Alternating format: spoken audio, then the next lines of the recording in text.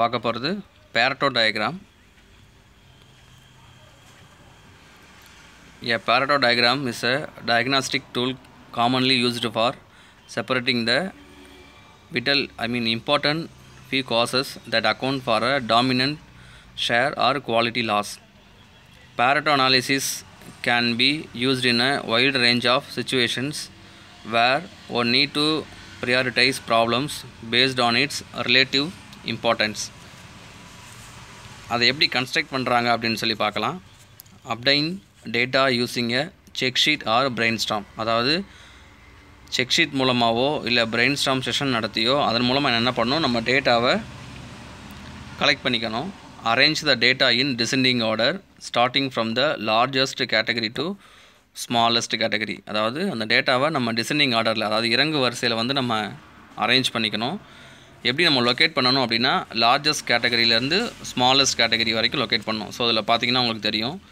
எடுத்த உடனே லார்ஜஸ்ட்டாக இருக்குது போக போக அப்படியே எப்படி இருக்குது அப்படின்னா அப்படியே குறைஞ்சிக்கிட்டே போகும். ஸோ இதுதான் வந்து பார்த்திங்கன்னா டிசெண்டிங் ஆர்டர் ஓகேங்களா டிசெண்டிங் ஆர்டரில் largest first smallest I mean போக போக எப்படிட்டே போயிட்டு இருக்குன்னா கிராஜுவலாக டிக்ரீஸ் ஆகிட்டே இருக்கும். ஸோ இதுதான் அந்த second point calculate the total percentage of the each category represents அது பார்த்திங்கன்னா டோட்டல் பேசன்டேஜ் ஒவ்வொரு கேட்டகரி அதாவது கனெக்டிங் கேப்பிங் ஃபிட்டிங் டார்க்னு சொல்லி ஒவ்வொரு கேட்டகரிக்கும் டோட்டல் பேசன்டேஜ் என்னங்கிறத கால்குலேட் பண்ணி மொத்தம் ஹண்ட்ரட் பேசன்டேஜ் இதில் காக்கிங்க்கு வந்து ஃபார்ட்டி செவன் பாயிண்ட் சிக்ஸு கனெக்டிங்க்கு வந்து seventy two point four so இது மாதிரி ஒவ்வொரு காசஸ் ஐ மீன் எஃபெக்ட்டுக்கும் எவ்வளோ டோட்டல் பேசன்டேஜ் அப்படிங்கிறத நம்ம கால்குலேட் பண்ணி ஃபஸ்ட்டே வச்சுக்கணும்.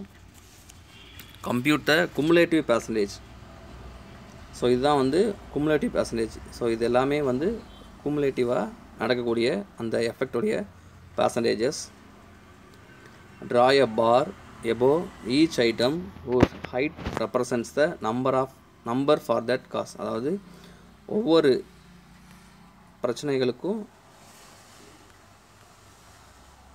ஒவ்வொரு பிரச்சனைக்கு மேலே ஒரு பார் சார்ட் ஸோ கனெக்டிங்னா அதுக்கு மேலே ஒரு பார் சார்ட் கிராப்பிங்னா மேலே ஒரு பார் சார்ட் ஃபிட்டிங்னா மேலே ஒன்று டார்க்னா மேலே ஒன்று ஸோ பார் சார்ட் வச்சுக்கணும்.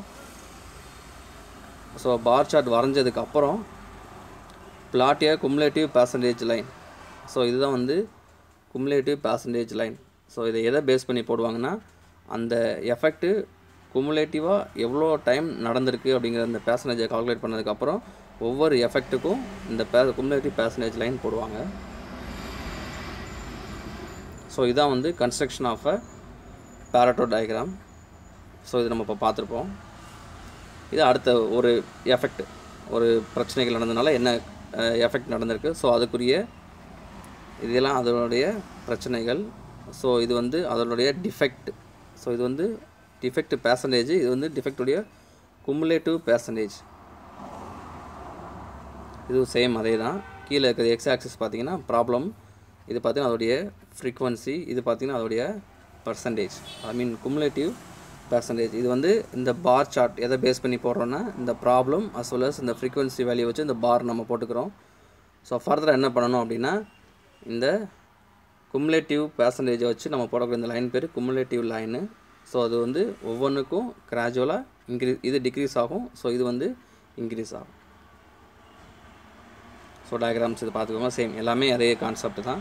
ஸோ இதில் நான் ஒவ்வொரு எக்ஸாம்பிள்ஸ் போட்டிருக்கேன். ஒவ்வொன்றுக்கும் ஒரு பிரச்சனைகள்.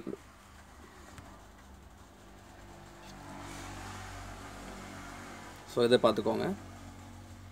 இதுவும் பார்த்தீங்கன்னா நம்பர் ஆஃப் கண்ட்ரிஸ் இருக்குது ஸோ அந்த நம்பர் ஆஃப் கண்ட்ரிஸில் எவ்வளோ பாப்புலேஷன் கவுண்ட் இருக்குதுன்னு சொல்லி இந்த சைடு இருக்குது ஸோ அதுக்கு பதிலாக இந்த நம்பர் ஆஃப் கண்ட்ரிஸ் எக்ஸ் ஆக்சிஸ்லையும் இந்த கவுண்ட் ஒய் ஆக்சிஸும் கொடுத்து அதுக்கு வந்து என்ன பண்ணிட்டாங்க?